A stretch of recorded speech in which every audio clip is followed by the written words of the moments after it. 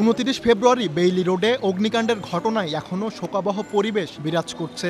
অভিশপ্ত এ ভবনটি ঘিরে উৎসুক মানুষের ভিড়। এ ঘটনায় পুলিশ বাদী হয়ে রমনা থানায় মামলা দায়ের করেছে। ভবনটির নির্মাণ প্রতিষ্ঠান আমিন মোহাম্মদ গ্রুপের এক ব্যবস্থাপক সহ এখন পর্যন্ত চারজনকে আটক করেছে পুলিশ। এদিকে রাজুক জানিয়েছে, ভবনটিতে রেস্টুরেন্ট চালানোর কোনো অনুমতি ছিল না। এছাড়া ফায়ার সার্ভিসের পক্ষ থেকে জানানো হয়েছে, ঝুঁকিপূর্ণ বিবেচনায় ভবনের মালিককে তিনবার নোটিশ করা হয়েছিল। এত কিছুর মধ্য দিয়ে কীভাবে বহাল তবিয়তে একটি ভবনে এতগুলো রেস্তোরাঁ চলছিল এ নিয়ে প্রশ্ন উঠছে। বিশেষজ্ঞরা বলছেন, আইনের প্রয়োগ আর তদারকি না করার ফলেই এই দুর্ঘটনা। সামগ্রিকভাবে দেখতে হবে, মামলাকে ভয় পাচ্ছে না।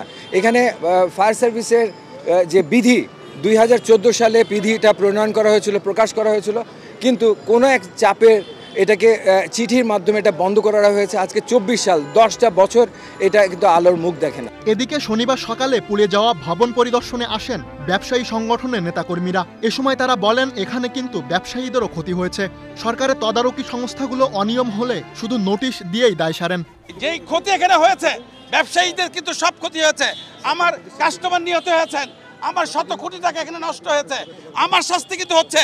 আর যারা লাইসেন্স দেন আর যারা এই রেগুলেটরি বোর্ড বোর্ড যারা আছেন তাদের কোনো শাস্তি হয় না। তারা নোটিশ দেন। নোটিশ দেওয়ার পরে বলে আমরা নোটিশ দিয়ে নোটিশ দিয়েছি নোটিশ দিয়েছি। নোটিশ বড় বিষয় না। কেন সে প্রতিষ্ঠান বন্ধ করলেন না? কেন কার্যকর ব্যবস্থা গ্রহণ করলেন না? নোটিশ দিয়েছেন যারা তারাই কিন্তু মূল অথরিটি যারা এগুলা রেগুলেটরি করবেন এবং এগুলা নিয়ন্ত্রণ করবেন। তাদের কাছে আইন আছে তাদের হাতে। আমাদের ব্যবসায়ীদের হাতে তো কোনো আইন নেই।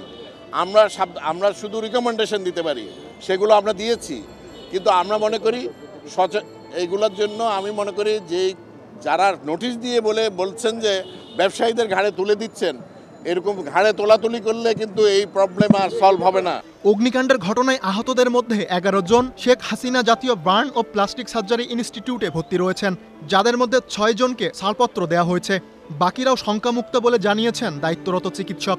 ছয়জন পেশেন্টকে আমরা আজকে ছেড়ে দিচ্ছি। ওরা আমাদের চিকিৎসায় উন্নতি হওয়াতে ওরা চলে যাবে। আর পাঁচজনের একটু শ্বাসকষ্ট আছে, ওদের শ্বাসনালী পুড়ে গিয়েছে।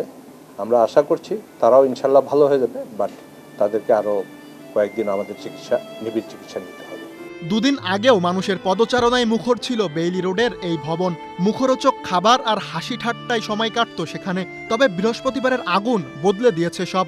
সন্তানহারা মা বন্ধু হারানো বন্ধুরা পোড়া ভবনটির দিকে নিষ্পলক তাকিয়ে যেন অনুভব করছেন, ঠিক কতটা যন্ত্রণার মৃত্যু ছিল স্বজনদের। কে বিচার করবে? আমার ছেলেকে তো আর পাবো না। আমার সংসারে তো পুরো ধ্বংস হয়ে গেছে এখন। আমার হাজবেন্ড অসুস্থ, আমার ছেলে এখন নাই। সেক্ষেত্রে বলে, আপনারাই বলেন যে এখানে এই সংসারটা কি হতে পারে? আমার ছোটোবেলার ফ্রেন্ড বিয়াঙ্কা রয় ইন্তেকাল করেছিল, আর আমরা এখানে এসেছিলাম হলো এই বিল্ডিংটা দেখে যে কি কষ্টটা পেয়েছে তারা। তাই জানার জন্য এসেছিলাম আমরা এখানে, দেখি রিপোর্টার আছে। আর আমি চাই সত্যিটা ছড়াক যে এরপরে যখন রেস্টুরেন্ট তৈরি হবে, যেন ওর মধ্যে যেন সেফটি প্রোটোকল থাকে ফায়ার এক্সিট থাকে এবং যেন কোনো দুর্ঘটনা না হতে পারে, যেন কোনো সিলিন্ডার যেন এত সিলিন্ডার যেন একসাথে না থাকে।